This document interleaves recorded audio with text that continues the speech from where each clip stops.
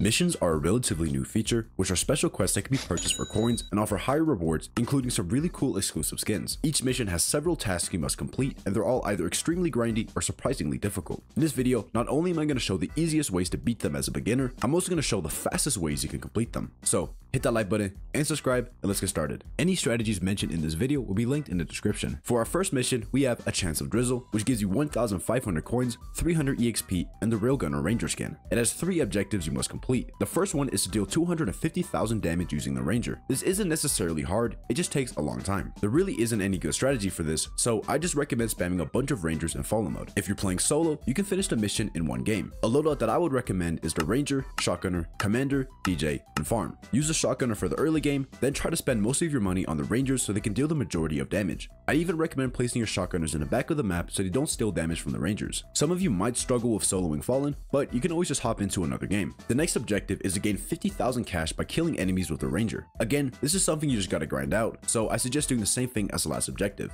Solo Fallen mode and let your Rangers get as many kills as possible. The third and last objective is much more difficult. You have to triumph hardcore mode on the map Unknown Gardens while having the Ranger in your loadout. If you struggle with beating this, I'd recommend using the Unknown Spam hardcore strat made by 50p, Ulil, Neko OO, and Coldion. It requires no special towers and has a 100% win rate. To do this strat, you'll need 3 players with the following loadouts. Player 1 will need the farm, trapper, ranger, turret, and military base. Player 2 needs the farm, ace pilot, ranger, commander, and military base. And finally, player 3 needs the farm, shotgunner, ranger, DJ booth, and military base. To find people to play with, I'd recommend using my party finder bot on my Discord, which automatically pairs you up with other people. Using the strat, you should easily be able to finish this mission. Next up, we have the mission Hazardous Haste, which gives you 2,200 coins, 400 EXP, and the exclusive Nuclear Accelerator skin. The first task is to deal 750,000 damage with the accelerator. That's a pretty hefty amount, and unfortunately, there isn't much you can do about that. I recommend once again just soloing Fallen mode and spamming accelerators as much as you can. A good loadout to use would be the accelerator, shotgunner, farm, commander, and DJ. If you want to get as much damage as possible on the accelerators, I'd recommend placing your shotgunners in the back so they don't steal any kills. If you struggle with soloing Fallen mode, playing in a squad is much easier, just a bit slower. The next objective is to deal 75,000 damage with the accelerator in a single map. This one is honestly pretty easy, so just do the same thing as the last objective, and you should have no problem with dealing this much damage with the accelerators in a single game. The next objective is to beat hardcore mode twice using the accelerator. For this, I'd recommend using the Lucille strat, which is the easiest and fastest way to beat hardcore. To use this strategy, you'll need a team of 3 people. Player 1 has to bring the farm,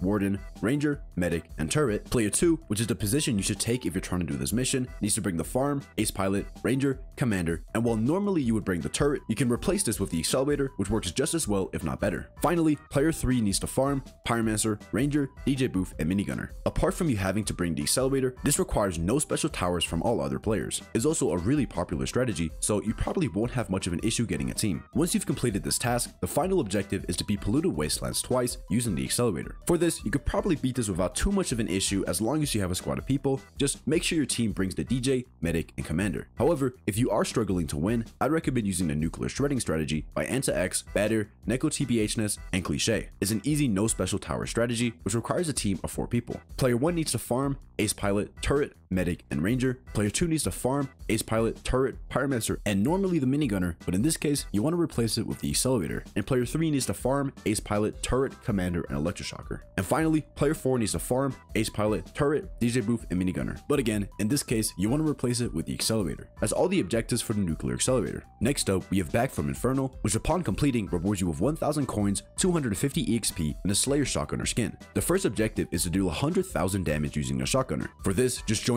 any Fallen game and spam shotgunners. This tower is super strong and is good from early all the way into mid late game. A loadout I would recommend using is a shotgunner, farm, DJ, commander, and minigunner. However, you honestly only really need to get minigunners way into the late game, and for majority of the game, you only should spam shotgunners. Once you finish that, the next objective is to be Molten mode of the shotgunner three times. This is super easy, and you can probably solo this using only the shotgunner and farm. However, to speed things up and make your life easier, I'd recommend bringing the commander and DJ booth. The next objective is where things get pretty hard. You have to beat Infernal Abyss on Fallen mode twice using the shotgunner. This map has three lanes, meaning you have to beat three times the amount of enemies. I definitely not recommend trying to beat this solo, and you're much better off using the Infernal Goober strategy by Dank TDS. It only requires two people, needs no special towers, and has a 100% win rate. Each player will need the following loadouts. Player 1 will need to bring the farm, DJ Booth, Pyromancer, Shotgunner, and Ranger, and player 2 needs to farm, Commander, Military Base, Shotgunner, and Ranger. Keep in mind that doing player 2 is significantly harder than player 1 since you need to use the abilities of the Commander and military base. Once you've done that twice, you finish the mission. Next up, we have a mysterious drifter, which gives you 1,250 coins, 300 EXP, and the Badlands Ranger skin. The first objective is to kill 1,000 enemies with the Ranger. You could accomplish this by just soloing Molten mode a couple of times, but a faster way would be to play on a map with multiple lanes, such as Infernal Abyss. This map has 3 lanes, meaning it spawns 3x the amount of enemies. Using a farm, shotgunner, ranger, commander, and DJ, you should easily be able to beat the solo, and it'll finish this objective 3 times as fast. After that, the next objective is to do 1 million damage in Badlands 2. That's a lot of damage, but luckily it doesn't just have to come from the ranger, and any damage from any tower is counted.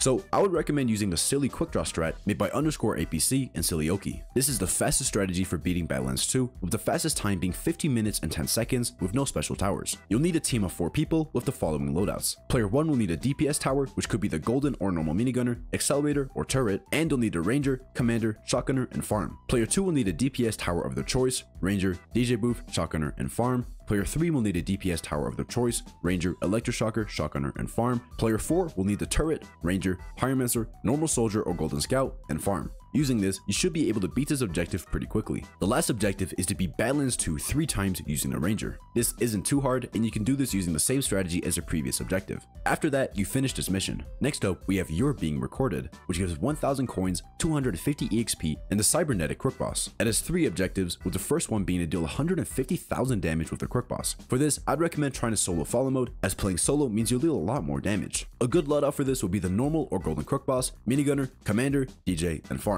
If you don't have the Golden Crook Boss and have to use a normal version, I'd recommend doing this on an easy map like Grassy Isles as the loadout may struggle a bit. Regardless, place your crooks in the front of the map and try to get minigunners as late as possible and at the very back of the map so they don't steal as much damage. Also, don't be so worried about winning as dealing damage is the only thing that matters. After that, the next objective is to triumph any map 5 times using the Crook Boss. You can use the same loadout, but just make sure you play in easy mode as the game mode doesn't matter. Easy mode is much faster and of course, not as hard. The last objective is a bit harder. You have to beat Space City in Fallen mode 3 times using the Crook Boss. Space City has 2 lanes, meaning you'll have to kill twice the amount of enemies. Also, there isn't a lot of good space to place towers. Fortunately, you can use the Cybernetic Spaces strategy by Dank TDS. It requires no special towers and you only need a team of 2 people with the following loadouts. Player 1, which should be the person trying to beat this mission, needs to farm, DJ, Pyromancer, Crook Boss, and Ranger. Player 2 needs to farm, Commander, Shotgunner, Minigunner, and Ranger. Once you've done this 3 times, you have completed the mission. Next up, we have Tech Tactician, which gives you 1,500 coins, 300 EXP, and the Phantom Commander skin. It has 3 objectives, with the first one being to use the Commander ability 40 times. You can do this really quickly in an easy or molten game game. Just place a bunch of level 2 commanders, spam their abilities, and you can definitely finish this objective in one quick game. The next objective is to try and Fallen mode with the commander 4 times. For this, I would highly recommend playing with a squad of people, whether or not it's random. It just makes things a lot easier. Any loadout should work, but as a recommendation, you can use the commander, minigunner, shotgunner, farm, and DJ. After that, the last objective is a lot more difficult, which is to beat Cyber City in hardcore mode using the commander. This is something that a lot of people have been struggling with, but you can do it pretty easily using the no special tower strategy Cyber Spam by 50p, Yulo, Neko and Koldion. For this, you need a team of 3 people with the following loadouts. Player 1 needs to farm, Trapper, Ranger, Turret, and Military Base. Player 2 needs to farm, Ace Pilot, Ranger, Commander, and Military Base. And finally, Player 3 needs to farm, Shotgunner, Ranger, DJ Booth, and Military Base. Using this strategy, you won't have much of an issue completing this mission. After that, our final mission is Suppressing Fire, which gives 1000 coins, 250 EXP, and the Phantom Minigunner skin. It has 3 objectives, with the first one being to deal 200,000 damage using the minigunner. For this, I'd recommend trying to solo Fallen mode, as playing by yourself means you can deal a lot more damage. A loadout I would recommend is a golden slash normal minigunner, farm,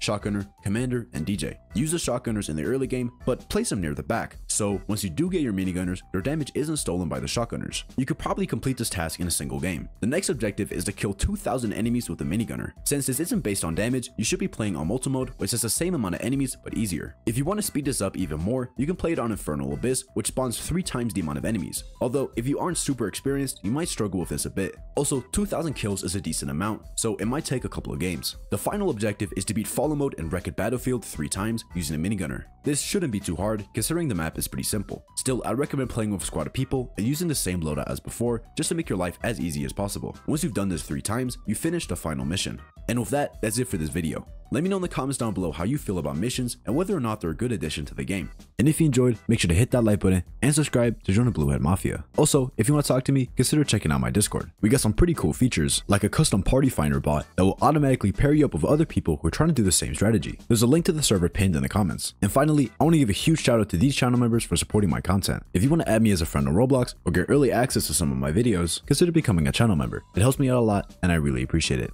Anyways, that's it for this video, and I'll see you guys in the next one.